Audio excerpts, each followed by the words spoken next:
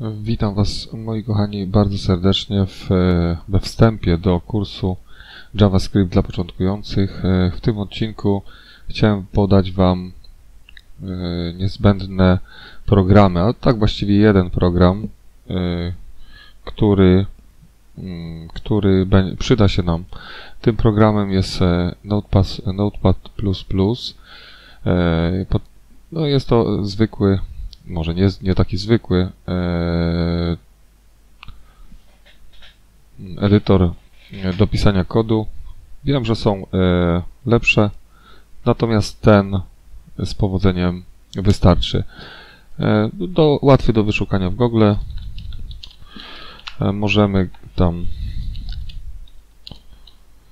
e, wejść na stronę e, Notepad++ www.org i pobrać aktualną wersję. Ja tutaj sobie pobrałem i zainstalowałem już yy, tak bardzo niedawno, czyli wczoraj.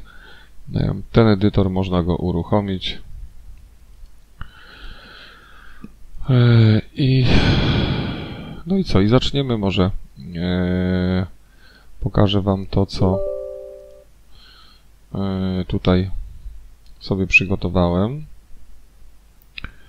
Pierwszym takim, pierwszym takim, e, taką rzeczą, takim plikiem, na który trzeba zwrócić uwagę, to, e, to jest oczywiście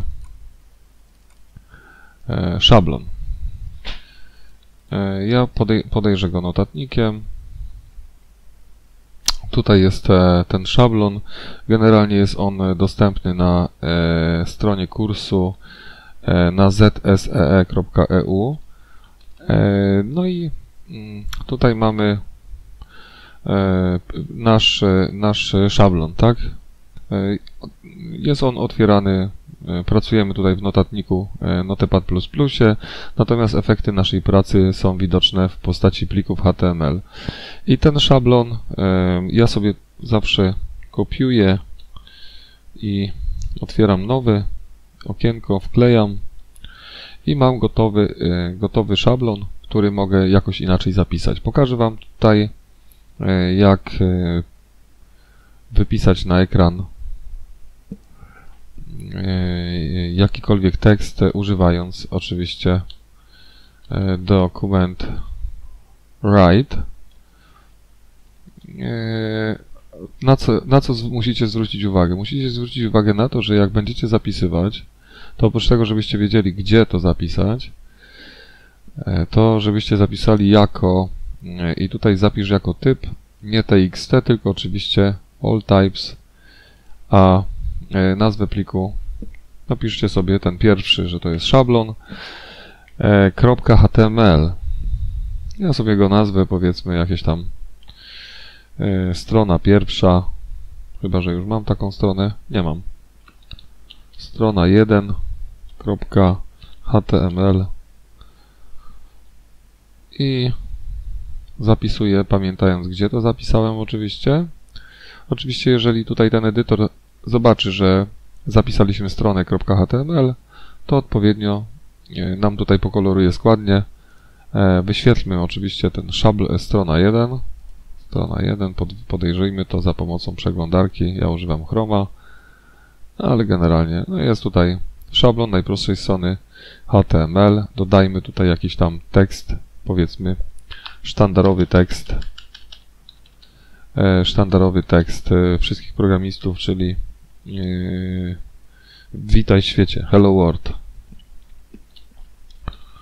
Do, do, do, do, dokument, write i to, co chcemy, aby wyświetliło nam się wprost na stronie, podajemy oczywiście w cudzysłowiach. I to będzie tekst Witaj świecie. I pamiętać należy, że każdą linijkę e, w kodzie JavaScript kończymy średnikiem, tym oto. Zapiszmy Ctrl S, skrót klawiaturowy, odświeżmy F5.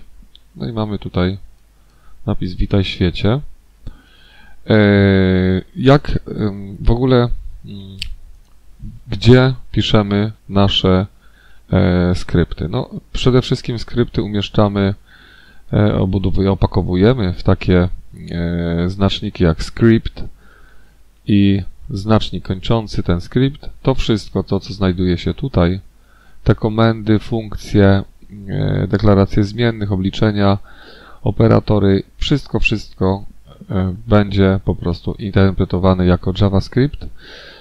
Jesteśmy w sekcji bady, więc e, nasze działania będą wyświetlane na ekranie. Gdybyśmy tutaj, możemy jeszcze nasz skrypt umieścić w sekcji hit.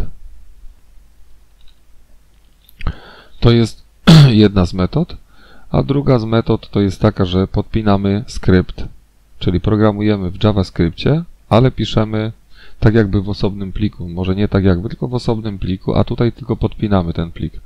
To, tę metodę pokażę e, w, późniejszych odcinkach. E, no, napiszmy jeszcze coś, obliczmy może, że dodajmy dwie, dwie liczby. Niech będzie zmienna, zmienna pole, którą inicjuje, że ona się równa 0. Do tego daję sobie powiedzmy A równe 10 jako podstawa i powiedzmy B czy H równe 20. Obliczmy sobie pole tak zbudowanej figury, jest to trójkąt. Pole oczywiście równa się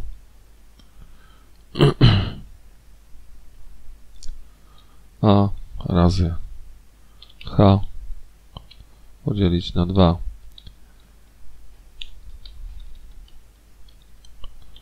To a razy h wezmę w nawiasie, choć to jest zbędne, ale tak się przyzwyczaiłem, musicie to mi wybaczyć. I wypiszmy. Dokument write. Pole. Trójkąta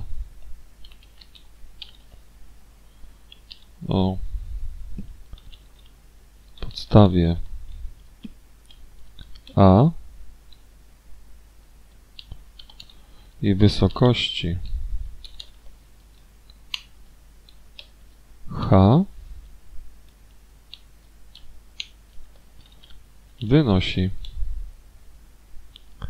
I tutaj piszmy pole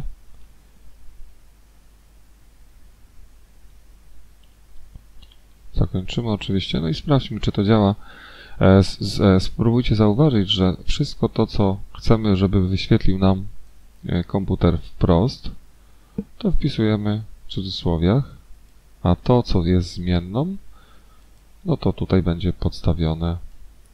Do łączenia stringów używamy tutaj plusa. Zobaczmy, czy to działa, aż sam jestem ciekaw. Witaj świecie, pole trójkąta o podstawie 10 i wysokości 20 wynosi 100. 10 razy 20, 200 podzielić na 2, 100. Wychodzi na to, że wszystko działa.